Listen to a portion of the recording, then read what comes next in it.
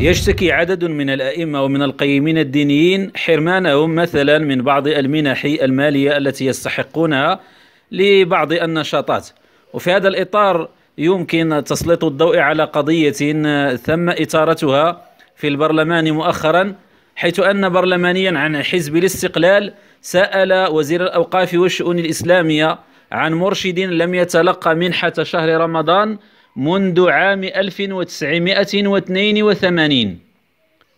دخل البرلمان على خط قضية واعظ ومرشد في وضعية خاصة بفعل الإعاقة حيث لم يتوصل بتعويضاته لسنوات حيث جاءت مبادرة البرلمان عبر سؤال كتابي يسائل عن الإجراءات التي ستتخذ لتمكين المعني بالأمر وهو بن قاسم السيوطي من مستحقاته المالية الكاملة. وذلك مراعاة لظروفه الصحية والاجتماعية الصعبة حيث أحال النائب البرلماني محمد الرقاني باسم حزب الاستقلال بالحي الحسني بالبيضاء على أحمد التوفيق وزير الأوقاف والشؤون الإسلامية طالبا توصل به من طرف بن قاسم السيوطي يوضح فيه أنه منذ أن نقل من جوار القصر الملكي بحي الأحباس إلى حي الجماعة بالحي الحسني سنة 1982 لم يتوصل بأية منحة لشهر رمضان إلى حد الآن كما أنه لم يحصل على منحة ستة أشهر الأخيرة لسنة 2007 وكذا 2008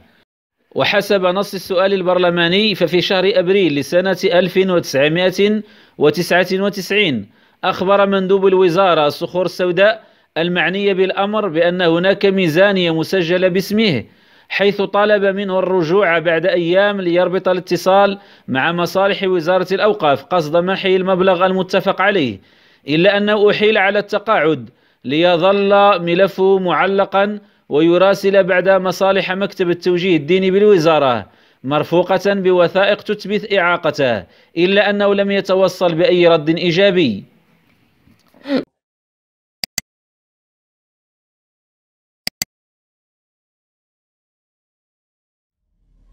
قناة إبراهيم أبو جابر رحلة تي في.